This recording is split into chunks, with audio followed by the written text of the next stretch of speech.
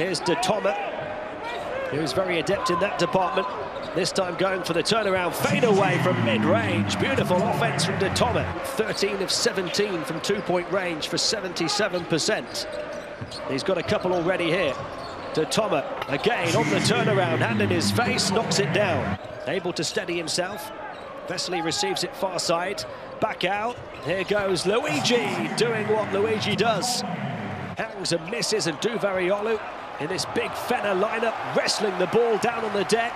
Here's Luigi. Bang! Off the great hustle play from Duverioglu. So Barthel with two fouls as well for Bayern.